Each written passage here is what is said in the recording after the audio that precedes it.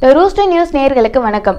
பாஜக எம்எல்ஏ குல்தீப் செங்கர் என்பவரால பாலியல் வன்கொடுமை செய்யப்பட்டதா குற்றம் சாட்டிய பெண்ணோட குடும்ப உறுப்பினர்கள் பதிவன் அளிக்கப்பட்ட லாரி மோதி உயிரிழந்திருக்காங்க. இது விபத்து ஒரு திட்டமிட்ட சதின்னு அந்த பெண் வந்து குற்றம் சாட்டியிருக்காங்க. என்ன நடந்ததுங்கிறத இந்த வீடியோவில் விரிவாக பார்ப்போம்.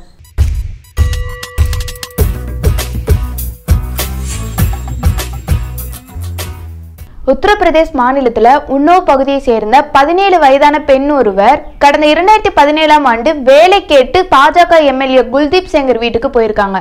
அப்போ போனப்ப தன்னை பாலியல் வன்கொடுமை செஞ்சதா குற்றம் சாட்டி கடந்த ஆண்டே வந்து காவல்துறையில புகாரும் அளிச்சிருக்காங்க. அவங்க புகார் அளிச்சும் கூட இந்த வழக்குல எந்த ஒரு நடவடிக்கையும் காவல்துறை வந்து எடுக்கல. இதுக்கப்புறம் கடந்த இரண்டாயிரத்தி பதினேழாம் ஆண்டு ஏப்ரல் எட்டாம் தேதி இந்த வழக்குல எந்த ஒரு நடவடிக்கையும் எடுக்கலன்னு சொல்லி உத்தரப்பிரதேச மாநில முதல்வர் அதாவது யோகி ஆதித்யநாத் வீட்டுக்கு முன்னாடி தற்கொலை முயற்சியில ஈடுபட்டிருக்காங்க. இதுக்கப்புறம் தான் இந்த வழக்கு தீவிரமா விசாரிக்கப்பட்டிருக்கு. விசாரிக்கப்பட்டதை தொடர்ந்து பாஜக எம்எல்ஏவும் கைது செய்யப்படுறாரு. இந்த நிலையில தான் அந்த பெண்ணோட தந்தையை விசாரிக்கிறதுக்காக காவல்துறை அதிகாரிகள் எல்லாரும் கூப்பிட்டு போறாங்க. விசாரிக்கும் போது அவர் உயிர் இழந்துடுறாரு அவரோட இறப்புக்கு சாட்சியா இருந்த ஒரு நபர் கூட மர்மமான முறையில உயிர் இழந்திருக்காரு தன்னோட தந்தையோட இறப்புக்கு அப்புறம் தன்னோட தாய் மற்றும் அத்தையோட பாதுகாப்புல தான் அந்த பெண் வந்து வாழ்ந்துட்டு இருந்திருக்காங்க. இதுக்கப்புறம் பாத்தீங்கன்னா கடந்த ஜூலை இருபத்தி ஒன்பது திங்கட்கிழமை அன்று தன்னோட தாய் மற்றும் அத்தை மற்றும் வழக்கறிஞர் கூட கார்ல போயிட்டு இருக்காங்க. அப்ப பதிவன் அளிக்கப்பட்ட ஒரு லாரி மோதி உயிர் இழந்துடுறாங்க அந்த குடும்ப உறுப்பினர்கள். அந்த பெண் படுகாயம் அடைஞ்சு ஹாஸ்பிட்டலில் அட்மிட் பண்ணியிருக்காங்க. இந்நிலையில் இந்த சம்பவம் குறித்து பாதிக்கப்பட்ட பெண்ணோட குடும்ப உறுப்பினர்கள் குற்றம் சாட்டியிருக்காங்க. அவங்க என்ன சொல்கிறாங்கன்னா இது விபத்தில் ஒரு திட்டமிட்ட சதின்னு சொல்லியிருக்காங்க. அது மட்டும் இல்லாமல் இதுக்கு பாஜக எம்எல்ஏ தான் காரணம் அப்படின்னு குற்றம் சாட்டியிருக்காங்க. அது மட்டும் இல்லாமல் பாதிக்கப்பட்ட பெண்ணோட மாமா வந்து ஒரு புகார் அளிச்சிருக்காங்க. அவர் என்ன புகார் அளிச்சிருக்காருன்னா பாதிக்கப்பட்ட பெண்ணுக்காக நியமிக்கப்பட்ட பாதுகாப்பு அதிகாரி அன்னைக்கு எங்கே போனார்? இவங்க போற பயண விவரங்கள் எல்லாத்தையுமே பாஜக எம்எல்ஏக்கும் மற்றும் அவங்களோட ஆட்களுக்கும் இவர் தான் சொல்லியிருக்காரு அப்படின்னு குற்றம் சாட்டியிருக்காரு. இது குறித்து அந்த பாதுகாப்பு அதிகாரி என்ன சொல்றாங்கன்னா குறிப்பிட்ட நாள்ல நான் அவங்க கூட தான் இருந்தேன். ஆனா அவங்க போன கார்ல இடம் இல்ல. அதனால நீங்க வர வேண்டாம். இவங்க எல்லாம் இருக்காங்களா? எந்த பிரச்சனையும் இல்லைன்னு சொன்னாங்க.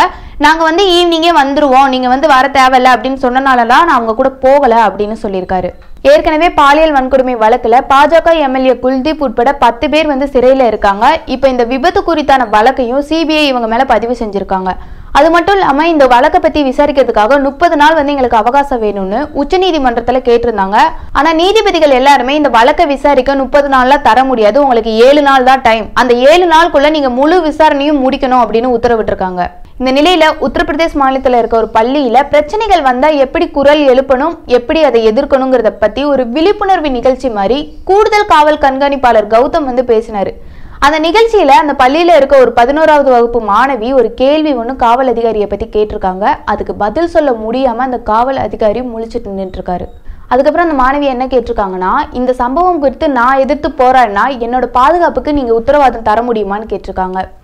அந்த கேள்விகள் எல்லாத்துக்குமே அந்த போலீஸ் அதிகாரி எந்த ஒரு பதிலும் சொல்லாமல் திகைச்சு போய் தான் நின்றுட்டு இருந்தார். இந்த கேள்வி அந்த அதிகாரிக்கு மட்டும் இல்லை இந்த அரசாங்கத்துக்கும் சேர்த்து தான் அது மட்டும் இல்லாமல் இது அந்த மாணவியின் குரல் மட்டும் இல்லை ஒட்டுமொத்த நாட்டு மக்களின் குரல் தான்.